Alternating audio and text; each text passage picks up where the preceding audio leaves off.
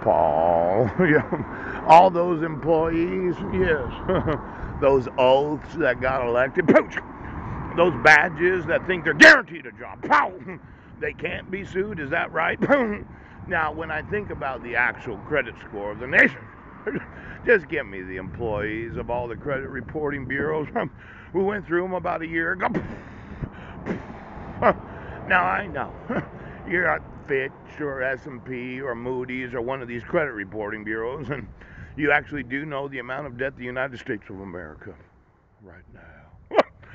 now I'm thinking that somebody's intentionally obstructing some improvements in the nation, and when I have to walk around asking for two dollars, I start to thinking about ways to put you in prison.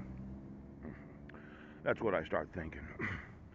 Now, this water that you don't think is important or electricity, these oaths that don't do what they had sworn. Today, okay, we're going to look through the credit, okay. Now, somebody's going to cause a major upheaval. Oh, the market's been going down. Your tech stock hasn't been doing very good. What if it went down 50%? How would that feel? All of a sudden, we're supporting the nation because of the issuance of debt. Now, why don't we just look at all the poor that don't actually own any stock? Credit reports bad. Can't get a job.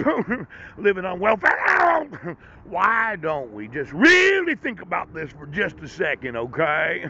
Now, I'm upset that nobody's enforcing the laws of the United States. and as employees of the military, it's more than three hots in a cot, isn't it? they treat you pretty good, don't they? After is that you went to boot camp, did you? it could be that the Army needs to just yell a little bit louder today. It looks to me like the employees of the military are better off than the citizens, and when that happens, it could be that somebody who's who's who's who's who's